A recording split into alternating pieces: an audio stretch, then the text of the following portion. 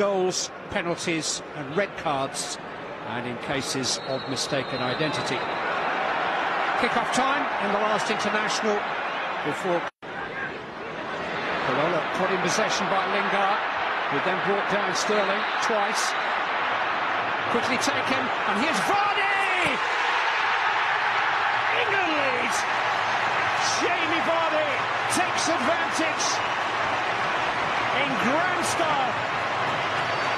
To the referee for allowing the free kick to be taken quickly.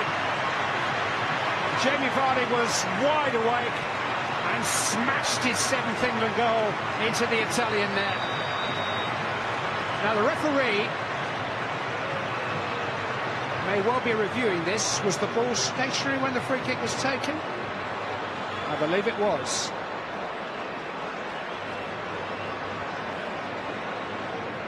It's a fabulous finish. Great closing there from Lingard. They pinch the ball, Sterling. There's a foul there. He plays on the referee. There's another foul. Hand on, takes it quickly. Great thinking from Lingard and Vardy smashes it in the top corner. Clever play from England. Jamie Vardy scored against Spain, he scored against Holland, he scored against Germany, and now he's Sterling. Now Young, well, he's deflected on the way through. England will have the consolation of a corner kick.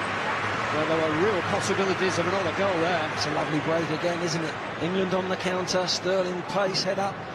Good timing with the pass, and Young decides to go with his left foot, just gets a clip on Zappacosta, but better from England.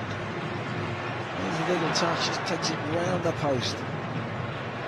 Technician Jorginho, he's lifted it into Insigne. Oh, it's a terrific ball across the face of goal. I think he was looking for Belotti rather than the far post. In the end, he bisected the pair of them. It was a wonderful ball from Jorginho. Look, little one-two, he runs. He's trying to get it across the goal, isn't he? Just runs out of space. Yeah, he's trying to wrap his left foot round it to put his teammate in, but that was close. That's the closest they've come.